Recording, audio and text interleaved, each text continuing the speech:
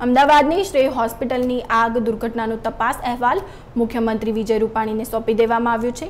બે વરિષ્ઠ અધિક મુખ્ય સચિવો દ્વારા રિપોર્ટ સોંપવામાં આવ્યો હતો. ઘટના બનતાની સાથે જ મુખ્યમંત્રી વિજય રૂપાણીએ સમગ્ર ઘટનાની ઝીણવટપૂર્વક તપાસના આદેશ આપ્યા હતા.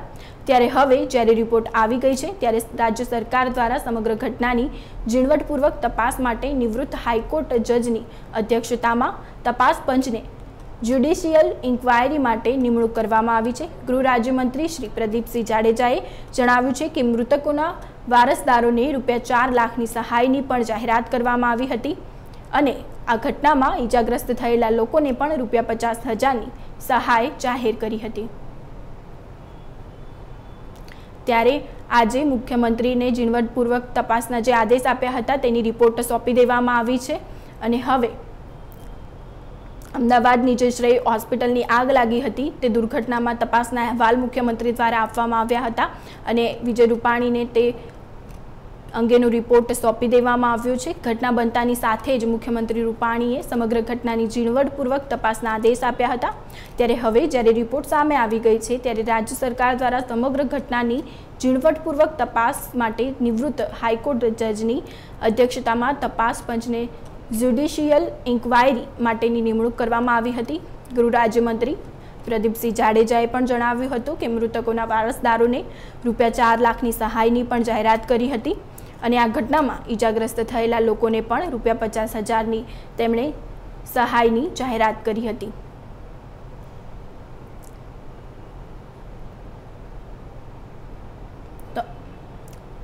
તો અમદાવાદની શ્રેય હોસ્પિટલમાં ખૂબ જ ગંભીર બેદરકારી સામે આવી હતી અને કોવિડના દર્દીઓ, આઠ દર્દીઓનો મોતનો મામલો થયો હતો, જેમાં અગ્નિકાંડ સામે આવ્યું હતું, જેમાં હોસ્પિટલની બેદરકારી સામે આવી હતી અને આ અંગે રિપોર્ટ સોંપવામાં આવ્યો છે. આજે મુખ્યમંત્રી વિજય રૂપાણીને મહત્વનું છે કે કોવિડ નાઇન્ટીન હોસ્પિટલમાં જે આગ લાગી હતી તેને લઈને સ્વજનો પણ ખૂબ જ આલાપ કરી રહ્યા હતા અને આજે જ્યારે એ રિપોર્ટ સોંપી દેવામાં આવ્યો છે ત્યારે હવે રિપોર્ટમાં શું આવ્યું છે તે સમગ્ર અહેવાલ થોડાક જ ક્ષણોમાં જાણવા મળશે. તો મહત્ત્વના સમાચાર કહી શકાય કે મુખ્યમંત્રી વિજય રૂપાણીને સમગ્ર જે દુર્ઘટના સર્જાઈ હતી હોસ્પિટલમાં આગની, તેના રિપોર્ટ સોંપી દેવામાં આવ્યા છે. બે વરિષ્ઠ અધિક મુખ્ય સચિવોએ દ્વારા આ રિપોર્ટ સોંપવામાં આવી છે.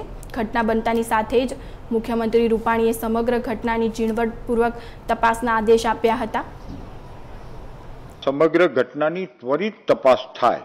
એના માટે રાજ્યના વરિષ્ઠ અગ્ર સચિવ ગૃહ અને અગ્ર સચિવ શહેરી વિકાસની એક કમિટીની નિમણૂક કરવામાં આવી અને ત્રણ દિવસની અંદર જ આ સમગ્ર ઘટના કેવી રીતે બની એનો અહેવાલ મંગાવવામાં આવ્યો.